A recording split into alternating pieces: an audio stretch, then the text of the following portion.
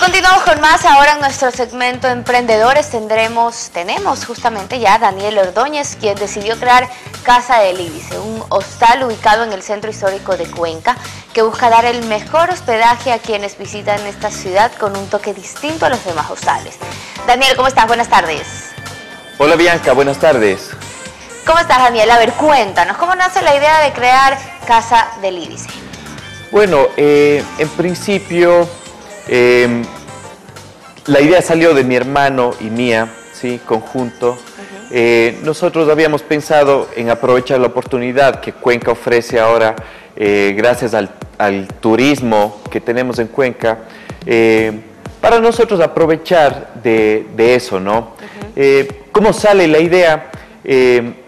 nuestra familia tiene una casa en el centro histórico de Cuenca, ¿sí? Estaba algún tiempo desocupada. Entonces nosotros pensamos y dijimos, ok, hay bastante turismo en Cuenca eh, y es una gran, gran, oportunidad de negocio, entonces refaccionemos esa casa.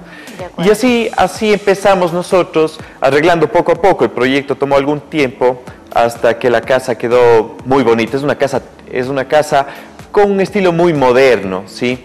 Porque queremos nosotros brindar algo nuevo, ¿sí? Bueno, y ahora que está lista, ¿qué servicios ustedes ofrecen a sus huéspedes?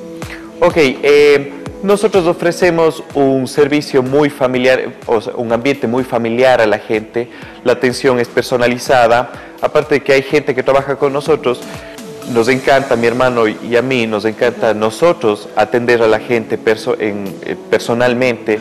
Entonces eso les gusta, ¿no? Eso les hace, crea un ambiente familiar.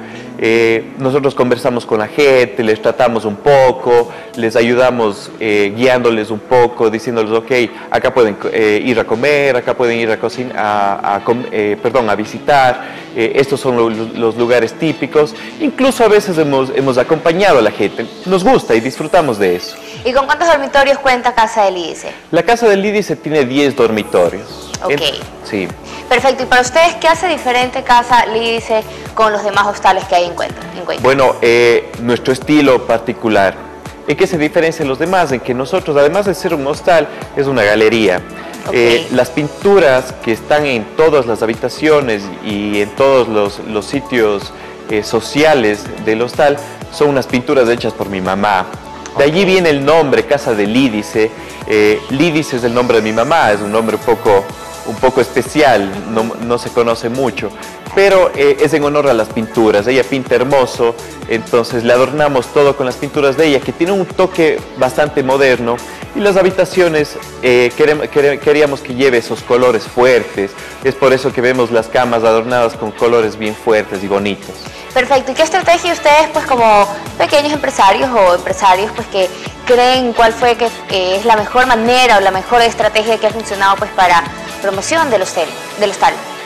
Bueno, aprovechar las, oportunidades, siempre hay una oportunidad a la, cerca de uno, en las manos. Entonces, aprovechar eso, eh, arriesgarse también, si uno quiere tener un, negocio propio eh, y no depender de nadie, hay que tomar ciertos riesgos y, no se, y hay que tener en cuenta, no se pega en la primera, se pega si uno con intenta, con arduo trabajo, arduo trabajo. ¿Y dónde están ubicados ustedes para que la gente ya los vaya, los vaya buscando? Perfecto. Eh, nuestro hostal queda en el centro histórico de Cuenca, en la General Torres 1169 y La Mar. Perfecto. ¿Y de qué manera se pueden contactar con ustedes para hacer una reserva? Bueno, eh, pueden llamarnos al, al teléfono eh, celular 0998-852-362 o entrar a, nuestra página de web eh, casa, eh, www.casadelidice.com. Perfecto, muchísimas gracias Daniel por estar con nosotros y compartir tu experiencia. Gracias a ti Bianca, buenas tardes. Que esté muy bien, buenas tardes a todos ustedes y les recuerdo nuevamente que pueden ver esta entrevista al ingresar a nuestra página web www.telerama.es en la sección en boga y no solamente esto, sino que también podrán chequear cada una de las notas que salen en el programa. También pueden seguirnos en Twitter en arroba en boga e